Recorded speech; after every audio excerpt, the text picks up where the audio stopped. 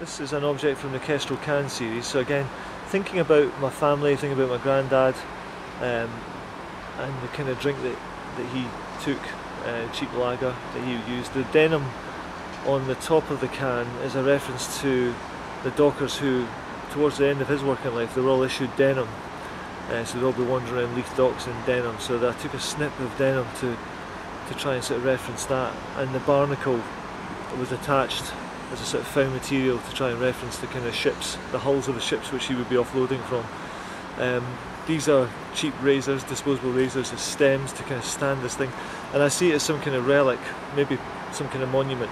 Um, the cigarette packet was found in Rowanburn, which is where my uncle Tommy lived, who was married to uh, to my grand sister. Um, so found at Rowanburn where Tommy stayed. And I wanted again to bring in that reference to the idea that people, or the experience of people being kind of displaced because they have to move through work. Um, they need they need jobs they have to move. And Tommy moves from Edinburgh to Rowanburn, which is just to the north here. Um, and now I find myself here. So you know, there's traces of his life, there's traces of, of my life, and these, this object hopefully embodies some of those traces, those trace elements. Um, and bringing it up into this context just to try and test it in a new in a new environment and see what it does. But I see it very much as a as some form of relic or, or even some kind of fetish object.